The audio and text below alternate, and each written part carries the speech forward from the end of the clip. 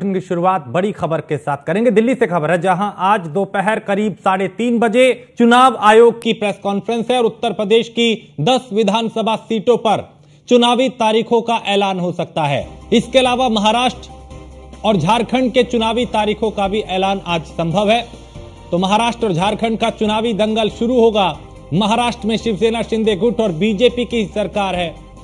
और हरियाणा और जम्मू कश्मीर के बाद अब महाराष्ट्र और झारखंड में भी चुनावी तारीखों का आज ऐलान हो सकता है। क्योंकि जम्मू कश्मीर और हरियाणा में चुनाव हो चुका है, अब महाराष्ट्र और झारखंड की बारी, लेकिन उसके साथ साथ उत्तर प्रदेश की 10 विधानसभा सीटें जहाँ उपचुनाव होना है, उनकी तारीखों का भी आज ऐलान की संभावना है। साढ़े तीन बजे प्रेस कॉन्फ्रेंस होगी और राजनीतिक दल तो अपनी अपनी तैयारियों में जुटे ही हैं। चाहे समाजवादी पार्टी हो भारतीय जनता पार्टी हो उत्तर प्रदेश की इन 10 सीटों पर भी एक तरीके से जीतोड़ मेहनत राजनीतिक पार्टियाँ कर रही हैं कि इन 10 की 10 सीटों को एक परसेप्शन बनाया जाए। एक मैसेज दिया जाए विधानसभा चुनाव से पहले कि हवा का रुख क्या है। तो आज साढ़े तीन बजे चुनाव आयोग की प्रेस कॉन्फ्रेंस है और संभावना ये कि उत्तर प्रदेश की भी जो 10 विधानसभा सीटें हैं, जिसके उपचुनाव होना है, वहाँ पे तारीख का ऐलान आज हो सकता है क्योंकि महाराष्ट्र और झारखंड में विधानसभा चुनाव है, उसकी तारीखों का ऐलान भी आज होगा। साढ़े तीन बजे चुनाव आयोग की प्रेस कॉन्फ्रेंस, और उसमें तारीख तय हो जाएगी कि महाराष्ट्र में कब चुनाव है, कितने चरण का चुनाव है, झारखंड में कब चुनाव है, और उत्तर प्रदेश की दस विधानसभा सीटें वो तारीख भी आज सामने आ जाएगी। तो हरियाणा और जम्मू कश्मीर के बाद अब महाराष्ट्र और झारखंड में चुनाव की तारीख का ऐलान होगा। आज दोपहर साढ़े तीन बजे चुनाव आयोग की प्रेस कॉन्फ्रेंस है, उस पर सबकी नज़र, क्योंकि तारीख का ऐलान होगा। झारखंड में चुनाव कब है, कितने चरण में होगा, महाराष्ट्र में चुनाव कब है, कितने चरण का होगा और उत्तर प्रदेश की 10 विधानसभा सीटें, उसके उपचुनाव उसका ऐलान भी आज हो सकता है।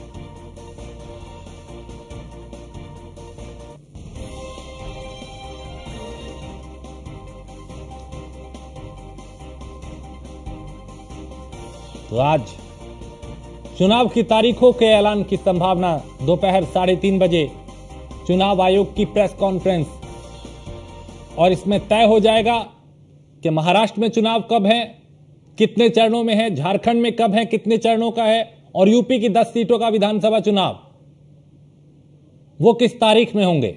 आज तस्वीर साफ़ हो जाएगी, क्योंकि इसका इंतज़ार पिछले कई दिनों से किया जा रहा है। और इसको लेकर राजनीतिक पार्टियों की अपनी अलग तैयारी है। और दिल्ली से पीयूष हमारे संवाददाता, इस पे ज़्यादा जानकारी के साथ। पीयूष, आज चुनाव आयोग की प्रेस कॉन्फ्रेंस है। महाराष्ट्र, झारखंड और उत्तर प्रदेश की दस सीटों पे आज पूरी संभावना तारीखों का ऐलान हो जाएगा। आ, बिल्कुल अगर हम बात करें तो चाहे महाराष्ट्र की बात करें या झारखंड की बात करें दोनों ही जगहों पर विधानसभा के चुनाव होने वाले हैं और ऐसे में कई दिनों से कयास लगाए जा रहे थे कि आखिर चुनाव आयोग कब इसकी जानकारी देगा यानी कि चुनावों के तारीखों का ऐलान करेगा। ऐसे में चुनाव आयोग की ओर से आज आधिकारिक रूप से ये बताया गया है कि दिल्ली जो विज्ञान भवन है वहाँ पर साढ़े तीन बजे के करीब में ये प्रेस कॉन्फ्रेंस शुरू होगी और इस प्रेस कॉन्फ्रेंस में बाकायदा चाहे झारखंड की बात करें या फिर महाराष्ट्र की बात करें, दोनों ही जगहों के चुनावों की तारीख का जो ऐलान है वो चुनाव आयोग की ओर से किया जाएगा। इसके अलावा अगर हम बात करें तो जैसे ही तारीखों का ऐलान होगा, निश्चित रूप से आचार संहिता भी लग जाएँगी।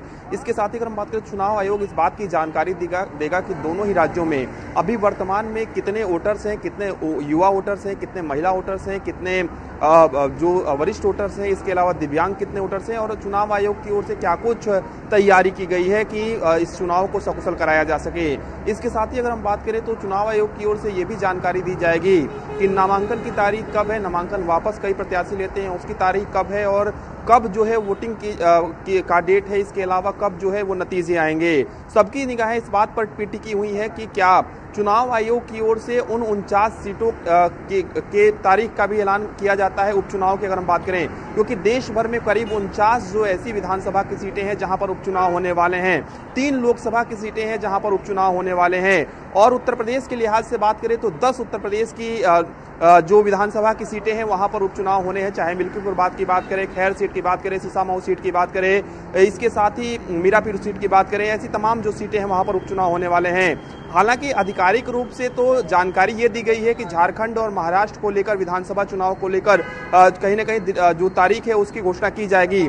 लेकिन आमतौर पर देखा गया है कि जब बड़े राज्यों के चुनाव की तारीख की घोषणा होती है और उपचुनाव होने वाले होते हैं। तो कहीं ना कहीं चुनाव आयोग की ओर से यह भी कोशिश की जाती है कि लगे हाथ तो उपचुनाव भी करा दिए जाए। क्योंकि हम्म। पिछली बार आपने देखा होगा कि जब चुनाव आयोग ने प्रेस कॉन्फ्रेंस किया था और खासतौर पर हरियाणा और जम्मू कश्मीर चुनाव की तारीखों का ऐलान चुनाव आयोग ने किया था तब उस दौरान उपचुनाव के बारे में भी चुनाव आयोग की ओर से ज़िक्र किया गया था और उन्होंने कहा था कि अभी हम स्थिति देख रहे हैं कई जगहों पर मौसम भी अनुकूल नहीं है और हम कोशिश करेंगे कि एक साथ ही जहाँ जहाँ भी उपचुनाव है उसको हम करा सकें। और कहीं ना कहीं साल के आखिरी में उपचुनाव करने का एक तरीके से इशारा जो है वो चुनाव आयोग ने किया था। तो ऐसे में कयास लगाए जा रहे हैं कि उत्तर प्रदेश के लिहाज से भी आज महत्वपूर्ण दिन है और चुनाव आयोग की ओर से उत्तर प्रदेश के उपचुनाव की तारीख का भी जो ऐलान है वो कहीं ना कहीं किया जा सकता है। क्योंकि महाराष्ट्र की बात करें तो करीब दो सौ अट्ठासी सीटें, झारखंड की बात करें तो करीब इक्यासी सीटें। निश्चित रूप से जब आचार संहिता लग जाएगी तो उसके बाद लगातार जो चुनावी प्रक्रिया है, उसमें चुनाव आयोग जुट जाएगा। क्योंकि चुनाव आयोग के तमाम जो अधिकारी हैं, वो झारखंड भी गए हुए थे, महाराष्ट्र भी गए हुए थे और बाकायदा हालातों का भी जायजा लिया गया था। सबसे बड़ी बात है कि सबकी निगाहें इस बात पर टिकी हुई है कि महाराष्ट्र में हो या फिर झारखंड में हो। जो चुनाव है वो कितने चरण में कराए जाते हैं और जो तारीख है चुनाव की वो कब आती है हम्म। हालाँकि ये भी जानकारी मिल रही है सोर्सेज के हवाले से कि साल के आखिरी में यानी कि नवंबर दिसंबर के बीच में ही ये चुनाव जो है वो कहीं ना कहीं कराए जाएँगे और चुनाव आयोग की कोशिश होगी कि जल्द से जल्द जो है वो चुनावी प्रक्रिया करा सके और इसके लिए क्या कुछ नई तैयारियाँ की जाती है? क्योंकि आमतौर पे आपने देखा होगा कि चुनाव आयोग हर बार एक नया प्रयोग करता है। खासतौर पे पिछली बार आपने देखा कि जो दिव्यांग थे या फिर जो असमर्थ लोग थे जो पोलिंग बूथ तक नहीं आ सकते थे उनके लिए बाकायदा जो अधिकारी हैं जो पोलिंग अफसर हैं वो जाते थे वहाँ पर कहीं ना कहीं उनके मतदान को वो कराते थे। तो हम्म। ऐसी तमाम जो प्रक्रियाएँ हैं उसके बारे में भी चुनाव आयोग जो है वो कहीं ना कहीं जानकारी देगा।